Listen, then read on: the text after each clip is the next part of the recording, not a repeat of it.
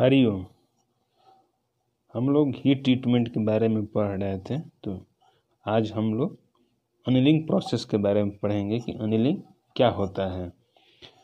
और अनिलिंग का उद्देश्य क्या है, अनिलिंग का कितना टाइप होता है, उसके बारे में आज हम लोग अध्ययन करेंगे। तो अनिलिंग मुख्यतः दो प्रकार का होता है प्रोसेस अनिलिंग और फुल अनिलिंग। तो पहले हम ये सीखते हैं कि अनिलिंग होता क्या है।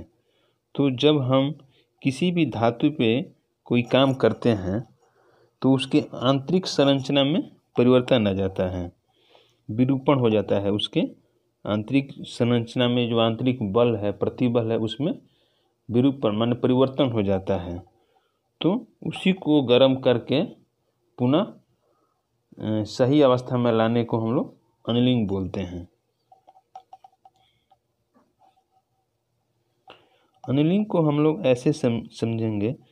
कठोर धातुओं को ऐसे तापमान पर गर्म किया जाता है जो उसके अंदर आए विरूपण या आंतरिक प्रतिबल को समाप्त कर दे और इसके पश्चात धातु को फिर धीरे धीरे ठंडा किया जाता है। इसी प्रोसेस को हम लोग अनिलिंग बोलते हैं। तो अनिलिंग में हाइपर यूटेक्टॉइड स्टील को उसके क्रिटिकल टेम्परेचर उसके क्रांतिक तापमान से तीस से पचास डिग्री ऊपर सेल्सियस तक और हाइपो यूटेक्टॉइड स्टील को उसके निचले क्रांतिक तापमान से पचास डिग्री सेल्सियस ऊपर तक हम लोग गर्म करते हैं। तो ये तो हमारा हो गया अनिलिंग। चलिए अनिलिंग का हम लोग उद्देश्य समझते हैं कि अनिलिंग का उद्देश्य क्या है। तो अनिलिंग का उद्देश्य, धातुओं की कठोरता को कम करना। तो जो उसका कठोरता होता है, ज़्यादा बढ़ जाता है फोर्जिंग करने से या और कोई प्रोसेस करने से उसका हार्डनेस बढ़ जाता है तो उसको हम लोग कम करते हैं अनिलिंग प्रोसेस से। आंतरिक संरचना में आई विकृति को समाप्त करना। उसके अंदर की संरचना में जो विकृति आ जाता है, जो बदलाव आ जाता है उसके आंतरिक संरचना में, उसको हम लोग समाप्त करते हैं, उसको सही करते हैं। तीसरा नंबर ग्रेन साइज़ को महीन करना ग्रेन साइज़ के बारे में हमने बताया ही है आप लोगों को कि ग्रेन साइज़ क्या होता है। तो ग्रेन साइज़ को महीन करना जो ग्रेन साइज़ होता है, उसको मतलब जो कण है, उसको और नज़दीक लाना, और घनिष्ठ लाना। पुनः कोल्ड वर्किंग करके योग्य बनाना।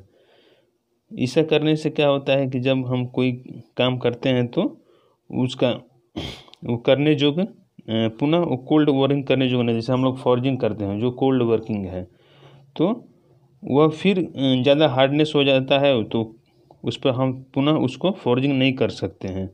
तो उसको अनिलिंग कर अनिलिंग के प्रोसेस से उसको पुनः कोल्ड वर्किंग करके करने योग्य बना दिया जाता है।